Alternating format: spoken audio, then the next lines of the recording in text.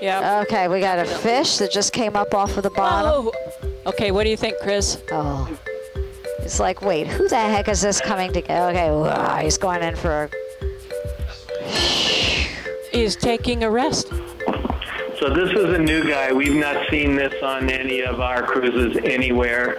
Diva is saying is an undescribed species, Pachycara. And Diva is saying we thought it was a Pachycara bulbiceps, but it's a new species, a hundred percent. Oh wow.